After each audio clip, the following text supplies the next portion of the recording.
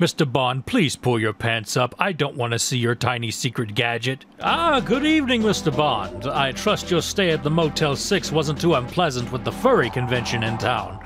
Hope they didn't keep you up all night with their yiffing. Yes. Today's assignment is an interesting one, Mr. Bond. Remember GoldenEye? Your blockbuster hit in the box office brought to the Nintendo 64? What an amazing piece of work that was. It showed that the first person shooter genre could indeed thrive on a console. It is one of your greatest adventures and a must have for the N64 should you wish to purchase one or play it by other means. Yes. Everything was on point the gameplay, the music, the multiplayer, those classic graphics, the control. Well, not so much the controls, but it's not the game's fault, it's this thing's fault.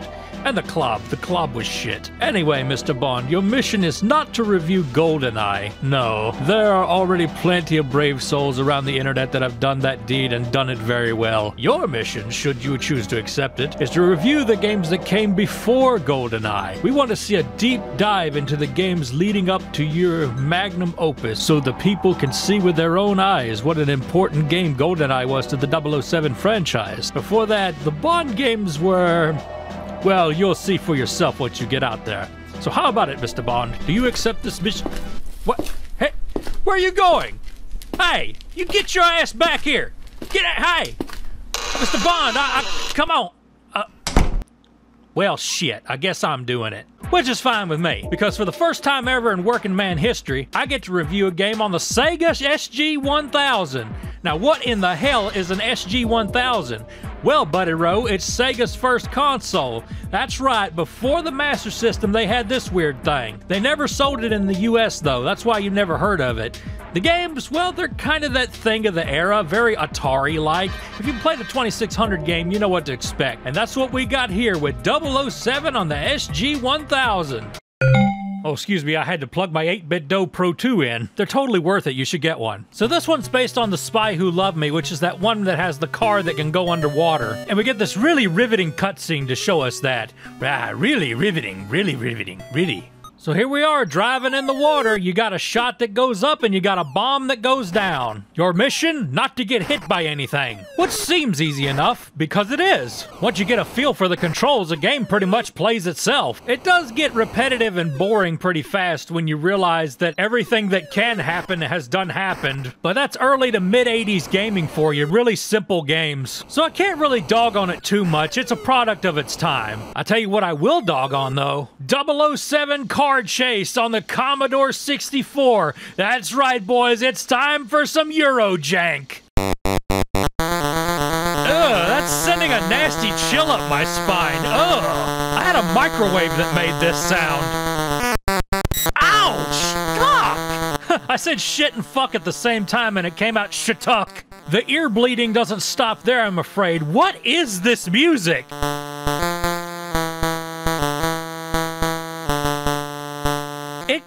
Sounds like the 007 theme if it was played by a tone deaf person.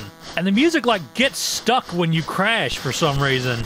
I'm not really sure what I'm supposed to be doing here. I think I'm just supposed to shoot the cars. Which cars? It doesn't matter. Any cars. Just shoot them all. 007 had one too many shaken not stirred martinis and now everybody on the road has to die. What's our lesson here? Don't give a drunk man a car with machine guns on it. Did I mention this game is pretty bad or did I have to tell you that? I mean, look at the way the road is cycling. Does this even count as a frame rate? I mean, the C64 was capable of doing animated roads. Like, look, here's Turbo Outrun on the C64. Look how smooth this is. For C64, anyway. I mean, it could do it. This is just plain garbage. Copeland software, eh? Yeah, you're gonna be coping when you get this for five pounds. You know what's even better? The name entry at the high score, it has no letter limit, so you can just infinitely type shit. That's some good-ass programming right there. Next, we're stepping on up to the Amiga in License to Kill. And it's a helicopter shoot 'em up? And it's one of those where it's hard to tell what you can fly over and what you can't. What makes it worse is it looks like your altitude changes depending on how close you are to the top of the screen. Everything is shooting you, and it seems like none of your bullets connect to anything. What's interesting is it's not one of those games where it's one hit and you're done. You can take a few hits before you die, but you really need it because literally everything shoots you, and you can't shoot anything back. Your bullets are as useless as a Walmart warranty. This is the first screen of the game, and this is as far as I could fucking get. And who asked for this? Who said, you know that one scene in License to Kill with a helicopter? I wish they made that into a whole game. I'm just assuming there's a helicopter scene. I haven't seen that one. Helicopter, helicopter, get all shot up and fall down and go boom. That's all I gotta say about that one. Piece of crap. Then we got Live and Let Die on the Amiga and you're in a boat shooting shit. I'm starting to see a pattern here. License to Kill had a helicopter scene. Let's make a game with a helicopter. Live and Let Die had a boat scene. Let's make a game about boats. Is there a Goldfinger game where you fly an airplane and spray nerve gas on people? And there's a secret code where you get to see Pussy Galore's pussy? Uh, never mind. Where was I? Oh yeah, boring boat game. So let's take a look at your HUD here. You have this in case you forget it's a 007 game. I think this is your lives. This is what a furry will think is the funniest word in the entire universe. And then you got your gas. You run out of gas, you run out of game. How do you get gas? You gotta run into the fuel drums. And you better not miss one or you're a dead motherfucker. This game leaves you no room for error. You have to do everything perfecto. You know what's funny is uh, Live and Let Die takes place in New Orleans, Louisiana, and we definitely have palm trees, an Aztec building, and a desert. Just a little cool extra to go with our big mosquitoes and insane humidity. Anyway, this game's a little bad, little shit, also cocks. I mean, all I ever do in it the whole time I'm playing is just run out of gas all the time. Always running out of gas. I think your fuel consumption is tied to how fast you're going too, which is interesting. You know, one cool thing they could have done? Given you a selection of boats to choose from that have different fuel consumption? Game would still be shit, but it'd be cool. Now let's go back to the C64 where we have The Living Daylights. Now, I have never heard of this Bond movie. Turns out it's a Timothy Dalton one. No wonder I'd never heard of it. This game is odd. So what you do is you're supposed to run to the right and head for the goal, but people are shooting you the whole time. So you have to stop running and aim the cursor at them and shoot them. Then to start running again, you aim the cursor all the way to the right and you press up to jump over rocks. So you're steadily having to go between aiming the cursor, running to the right, aiming the cursor, running to the right. There's no like way to switch in between the two. You have to be doing either one or the other. Also, it says paint gun down here. Apparently, at the start of the Living Daylights, James Bond is shooting other guys with a paintball gun as a training exercise. Anyway, it seems like you make more progress just steadily running to the right and not shooting anybody. Like, if you stay in one spot long enough just trying to shoot everybody, you're gonna use up all your life. Maybe it's a metaphor for life. If you stay in one spot too long, you're gonna waste your life away. I didn't think a 007 game from a Commodore 64 would get so deep. Also, I don't know if you noticed this, but 007 is black? Well, there you go, the first ever instance of a black Bond. Dude, if they ever really did a black James Bond, my racist dad would get so fucking pissed. Now I kind of hope they do it one day. Black James Bond sounds like something Saturday Night Live would do. Very tastefully, I'm sure. Next, we got The Spy Who Loved Me on the Amiga. Oh shit, this kicks ass. Whoa. Check this out. Yo! The Bond rap? Uh, uh, my name's James Bond. I have a lot of fun. I go to Arby's and I get a cinnamon bun. You ain't fuck with me, cause I'm the motherfucking best. 007, I'm gonna lay your ass to rest. Now let me touch your fucking breast. Uh, the game's fucked up. What the hell's going on?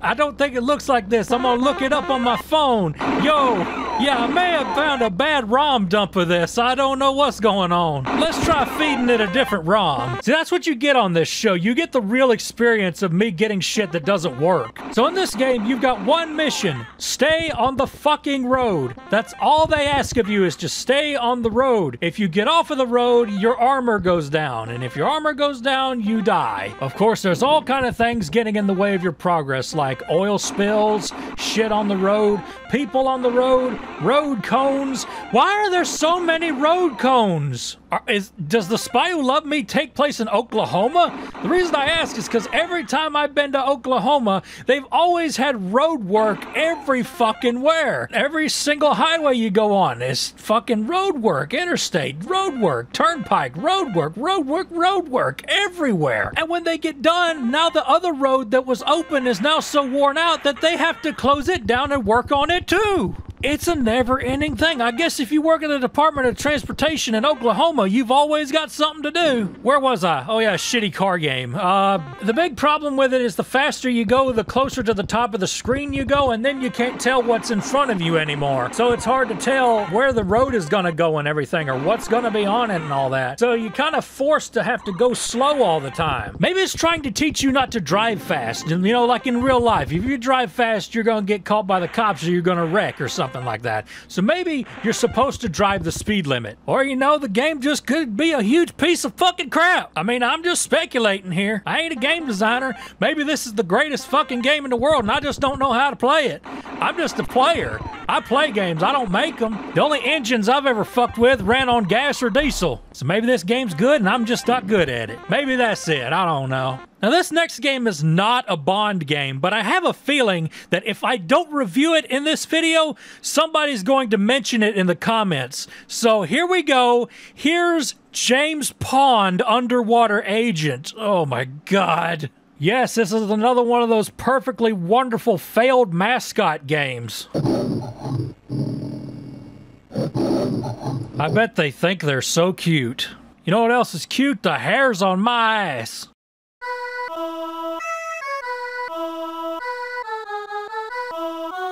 I couldn't resist, sorry. License to Bubble. Actually, I'm gonna be real with you, dog. Shut up. So the first level is okay. You just grab some keys and then you free these guys. What's cool is you can choose which level you want to go to. And the next one, you're in a toxic waste dump, and you have to save all the fish before they turn mutated, and then they become Toxic Crusaders or something, I don't know. Did you know there's a Toxic Crusaders game out? I'd much rather be playing that. At least that one's fun. This game is like, uh, I don't know, man. It gives you that feeling like you could be playing something else right now. I'm not sure what I'm supposed to be doing half the time. Sometimes I don't know where the hell I'm supposed to go. And it just overall feels like ass to play And you know how I tell you I hate water levels in games? Well, this whole game is water levels. It's like my worst nightmare. It's my own personal hell right up there with the poles in the Grinch game. A water level with poles would be my ultimate hell. Man, just looking at this game gives me acid reflux and a few other nasty feelings. And you want to know what's worse? You want to know what's the even worse thing? There's a sequel. Yeah, there is. James Pond 2, codenamed Robocod. Oh, God. So James Pond is now Robocod, and he's out of the water. That's a. Excuse me? Good grief, how high can you go? Holy shit. I guess this is a thing you can do. He's still going. My God. Oh, there, finally. 32nd floor, sporting goods. Well, we now know that you can do that. What use it has, I guess we'll find out. But I guess they figured out that the water level thing just wasn't cutting it. This is just a good old fashioned platformer. And it felt good to play for a little while until they give me this second level where I have no idea where I'm supposed to go. I have deducted that I'm supposed to go up. How up and where up, I do not know, but I think I'm supposed to go up. But that was all I could take of this game before I finally got aggravated and shut it off. Ugh, now that we're done with that nightmare, maybe we can get back to some Bond games. The good news is we're done with the Eurojank, so no more C64, no more Amiga, no more shitty British games. We're done with that. Our next game is James Bond The Duel on Sega Genesis. Now, will this be the good Bond game? Don't count on it and on it and on it. Now the pro- Whoa, wait a minute, wait a minute, what? This game was made by communists? You know Russian 007 doesn't need special gadgets to do what he does. Kalashnikov solve all problems just fine. Uh, and this is another one of those games where you need a million frames of animation before anything actually happens. Now go down the ladder. Go down, go down, thank you. The controls in this game just feel so clunky for some reason. Ugh, ugh. these sound effects. Oh shit, I'm in the water and the current's taking me away. Oh no. Sharks! Oh shit! Oh damn. 007's nothing but chum now. Okay then, jump down here. Fall damage? Oh, fuck off. Can we talk about Jimmy's shitty ass jump? It feels very jerky and uncontrollable. I feel like I'm gonna lose control every time I jump. They say if you cling too tightly, you're gonna lose control. That's true for a lot of things like fapping. I'm telling you, the shitty controls just make it to where it's really hard to make any precise jumps of any kind. I find myself falling down a lot and having to backtrack back to where I was and fight the same damn enemies I just killed. Not to mention the stupid knockback you get when you get shot. Oh, the stupid game. And if it ain't the knockback, it's the fall damage. And then there's this guy that grabs me and throws me over the side into the water. At this point, I'm just waiting for a plague of locusts to pick me up and take me somewhere. Oh, here they are now.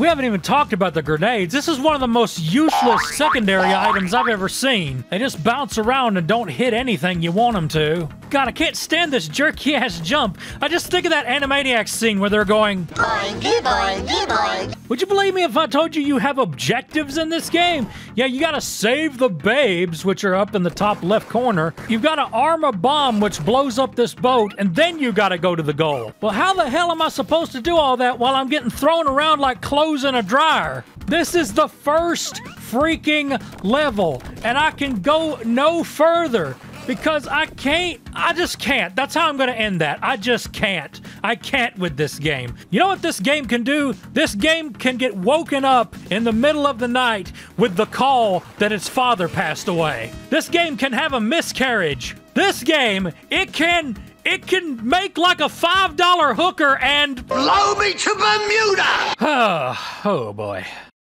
We got one more game. This game is based off a spin-off of 007 called James Bond Jr. and is our only game on the Super Nintendo. At first, the game seemed promising.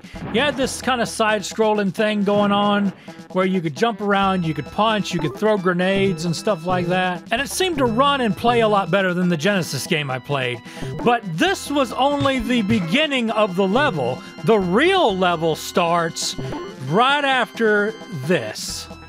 It's another helicopter shoot 'em up. If I had a dime for every helicopter shmup I played, I would have two, but it's weird that it happened twice. And this one was just boring. It just goes on and on and on, and it just never seems to stop. And at some point, you can just start dropping bombs and killing everything on screen, and nothing will hit you, except the fact that you're wasting your life away. I mean it, this level just seemed to go on for an eternity, and the fact that it's boring makes it seem even longer, damn. It's so boring I don't even have anything to talk about with it. I mean, you're seeing it. It's a helicopter shoot 'em up, you shoot up, and that's it. You know what? I could think of a better video game just watching this footage. Okay, here's a better video game. You're a guy who has a gun that shoots swords, and your objective is to defeat the guy with the sword that shoots guns. It's an action RPG, and the more swords you shoot, the more powerful you become. Is it the best idea for a video game? No, but it's damn sight better than what we're looking at right now. Anyway, game's crap. 1010 would shove a rusty nail up my dick. And Buddy Rose, that is the 007 games video. It was a rough old time, but a good old time. Well, boys, if you like this video, you all already know what to do. And if you really like what I do, you can become a patron just like these wonderful people. A dollar gets your name on the board, $5 gets you in the Discord, and $20 will get you a piece of art at the end of the video. Big shout outs to everybody who supports me and everybody who watches my videos, and especially anybody who shares it with other people. The algorithm doesn't do shit for me. I rely on you guys' word of mouth. So anyway, my name is Stuart K. Reilly, and if you've never heard of me, I'm Stuart K. Reilly. See y'all.